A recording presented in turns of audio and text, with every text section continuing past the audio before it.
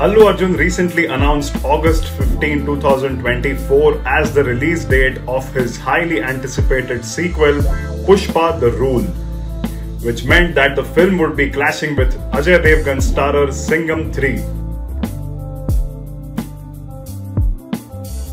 However, now reports are coming in that to avoid this big clash, the makers of the Rohit Shetty directorial Singham 3 have decided to postpone the film's release and Ajay is annoyed with this invasion from the south.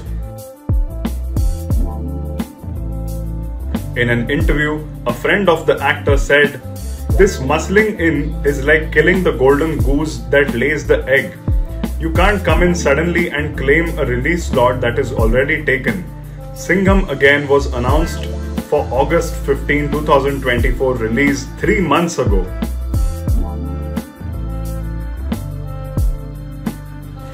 This kind of gate crashing a release date is seriously detrimental to the box office.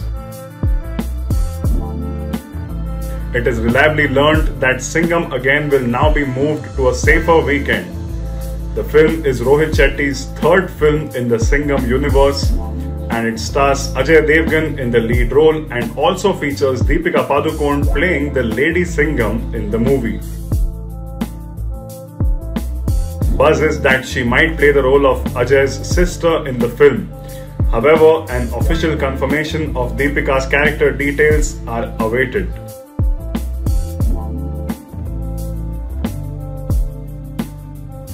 For more news and updates, stay tuned to eTimes.